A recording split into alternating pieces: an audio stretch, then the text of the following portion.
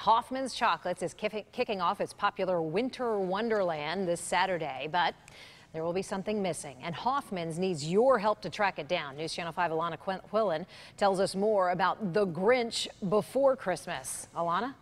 Well, Shannon, that Grinch literally stole the joy out of a Christmas display at the front of their store on Lake Worth Road in Greenacres. Now take a look at the surveillance video. Just before 11 p.m. last night, a giant 6 by 10 foot electric sign of the word joy was dragged off the front lawn at Hoffman's Chocolates. Now the sign cost the business $1,400, so they really hope to find it.